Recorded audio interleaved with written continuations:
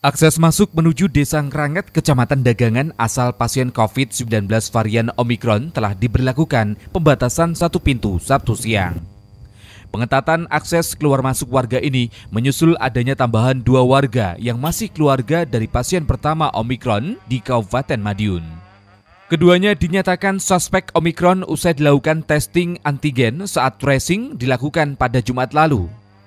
Hingga kini, Dinas Kesehatan Kabupaten Madiun telah memperluas tracing hingga 18 orang kontak erat pasien pertama, yakni perempuan berinisial S, seorang mantan pekerja migran Indonesia.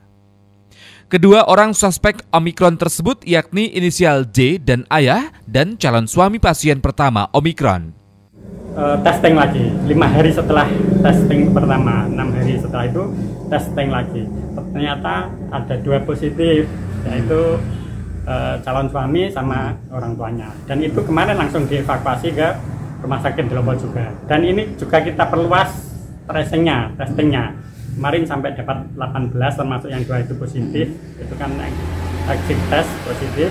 Kita apa tes semua. satunya tanpa gejala hmm. terus satunya cuma pilek aja pilek biasa.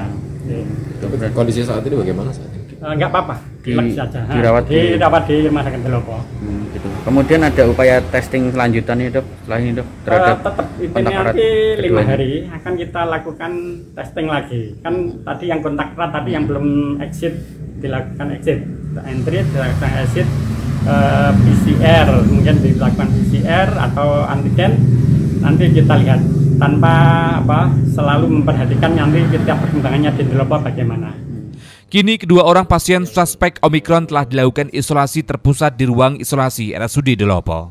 Sementara untuk mengetahui hasil pasti dari dua pasien suspek tersebut, keduanya akan menjalani tes PCR dan sampel hasil tes akan kembali dibawa ke Laboratorium Surabaya.